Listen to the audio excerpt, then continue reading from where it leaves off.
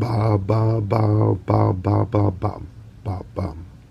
This is a different all you can eat video. This is at the Philadelphia Phillies game in a luxury suite. I got invited to one of these expensive suites.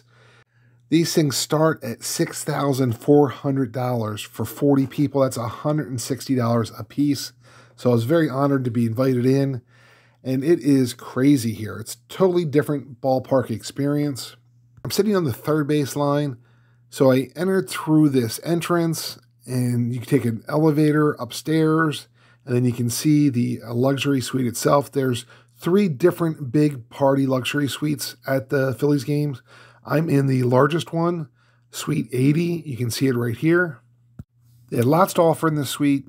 They had popcorn, uh, specialty potato chips, soft pretzels, Caesar salad, hoagies from 9th Street, uh, Hatfield hot dogs. They had Philadelphia cheesesteaks, cookies, ice cream, and then drinks. This is the view outside of our suite. We had all the indoor seating as well as two long rows of outdoor seating so you could enjoy the game either place. I will have to admit, it was very, very tempting to try to down a lot of food here because uh, some of the food was really good. I'm going to review each of the ones they had. But since I was a guest, I didn't feel it was appropriate to down uh, 20 hoagie sandwiches um, and I just kind of took it easy. But here's a quick review of all the food, which ones I like best. So if you ever get into a party suite, you know where to start at. Hot dogs at the ballpark always taste better, and this Hatfield hot dog is no different.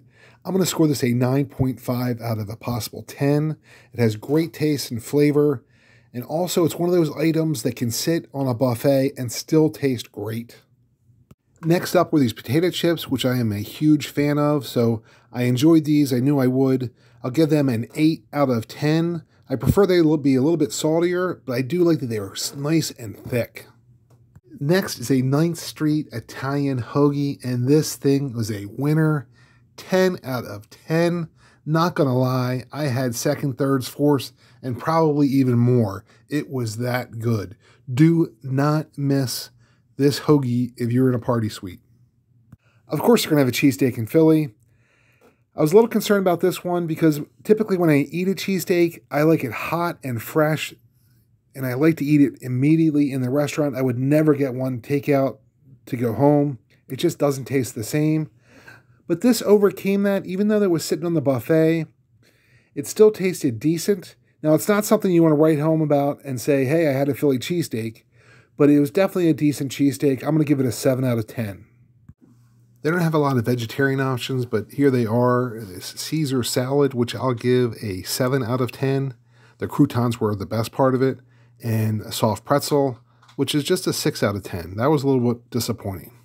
The popcorn was my least favorite. I'll go 4 out of 10.